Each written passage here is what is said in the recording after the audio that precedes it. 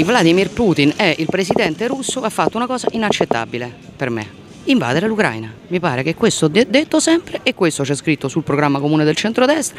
Mi pare che Berlusconi abbia eh, anche, anche egli diciamo, eh, spiegato che eh, le parole che, eh, che aveva espresso erano non l'interpretazione del suo pensiero ma l'interpretazione del pensiero di altri. Non capisco perché continuate a farmi una domanda sulla quale mi pare essere stata molto chiara e le dico di più, spero che prima o poi chiederete a Enrico Letta conto del fatto che è alleato con un partito che dice che bisogna fermare l'invio di armi all'Ucraina, perché no? Cioè, cerchiamo di, eh, eh, di, capire dove stanno davvero i problemi. Centrodestra ha votato sempre compatto sul tema dell'Ucraina, anche sull'ingresso della Finlandia nella Nato. Chi non ha votato sull'ingresso della Finlandia nella Nato è stato Fratoianni, alleato del PD. I problemi ce ne hanno altri.